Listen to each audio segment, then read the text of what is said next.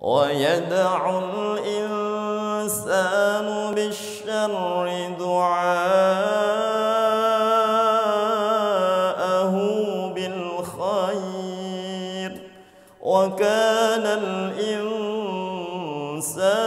عجولا وجعلنا الليل والنهار آيتين فمحونا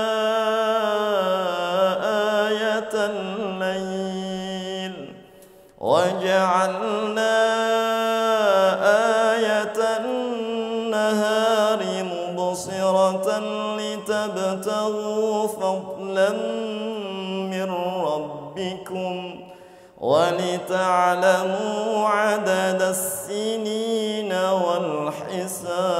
والحساب وكل شيء فصلناه تفصيلا.